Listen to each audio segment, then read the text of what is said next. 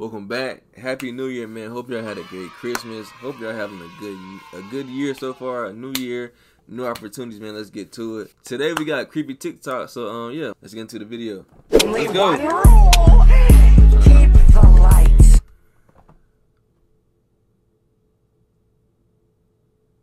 Already?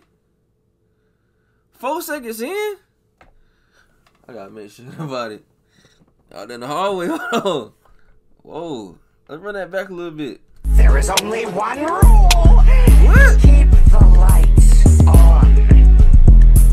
No way. What would y'all do if y'all saw that in y'all hallway when y'all had to get up and use the bathroom in the middle of the night? Like, what would y'all do? I don't know what I would do. Y'all let me know what would y'all do in the comments, man. Jeepers In the cornfield? where'd you get those peepers? Jeepers creepers, where'd you get those eyes? They're like that puppet from um Goosebumps, the book. Uh, that's creepy, man. That that gave me that gave me the chills looking at stuff like that. that junk, that's weird.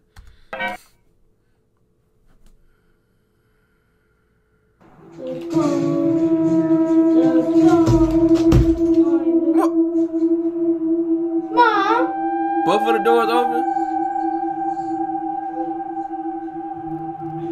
Playing Fortnite?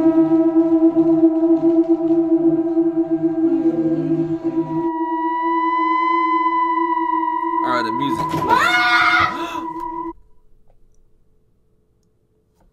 what if somebody did me like that? Man, I'm trying to tell you, bro.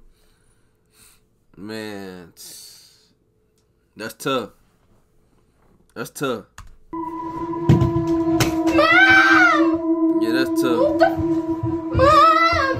It's one of those pictures. One of the pictures where you don't see it at first, right? This photo comes out of Wisconsin State University. It's from 2012 and it was taken by Aaron Silva. What looks like just an abandoned hallway, if you Okay. look very close to the back left, you'll see it. The outline of a person who had been watching him from around the corner. For context, this was a very common tradition at this school. A lot of people would dare each other to go inside the abandoned infirmary that was Wait, he- hold on. He said, it what did he say? off campus. You go inside using just a flashlight, and whoever stays in the longest eventually wins. But Aaron was never gonna make it out.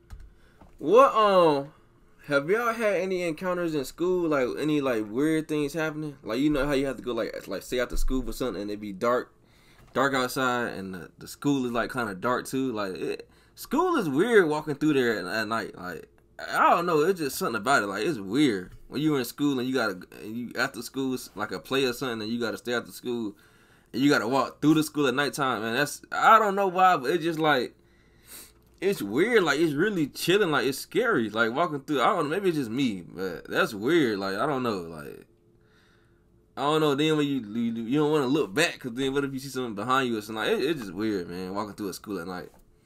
After more than an hour had passed, his friends eventually became concerned and they go in looking for him, where they found him and described him as cut from the mouth down to the center of his chest. This was a hugely disturbing case for police, but they eventually do retrieve his phone and they zero in on this picture, a picture which they believe shows who might have done this to Aaron. And if you increase the brightness, you can see the outline even better.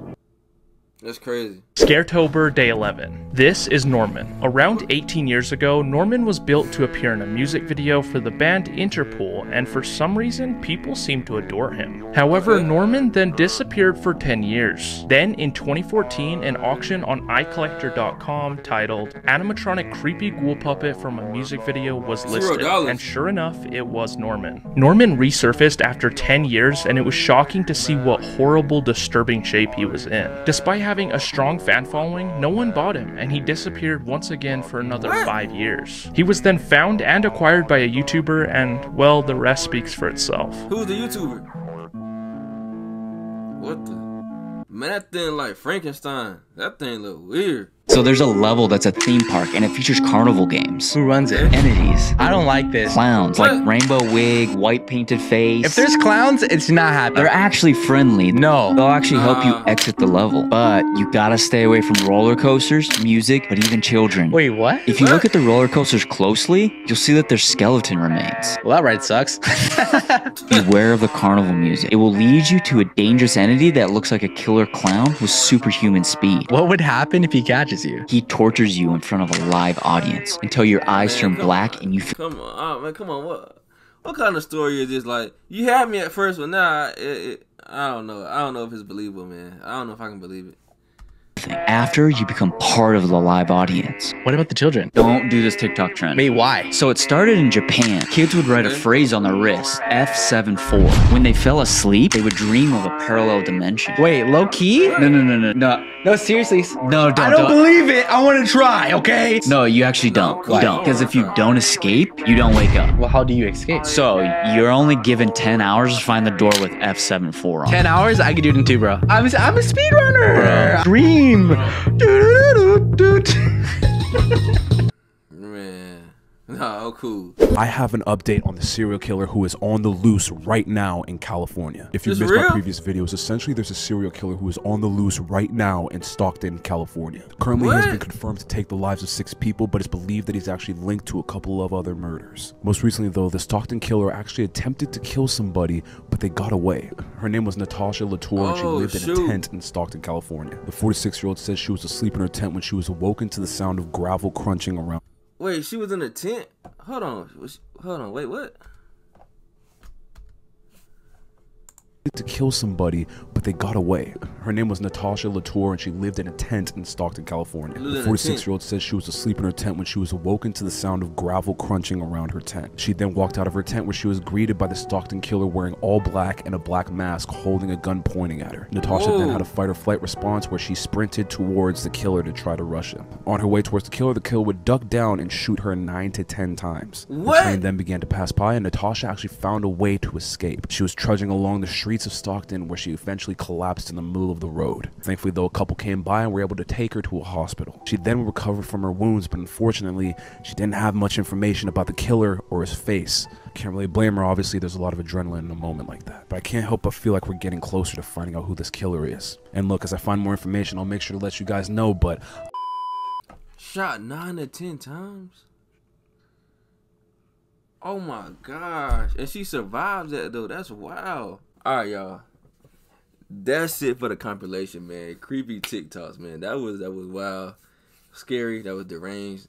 The serial killer that was crazy. She got shot nine ten times, still survived. I think that's what he said. Like I think he said it in that way. Like that was crazy. But yeah, make sure y'all like, comment, subscribe. Hope y'all had a great day, man. Until next time, peace.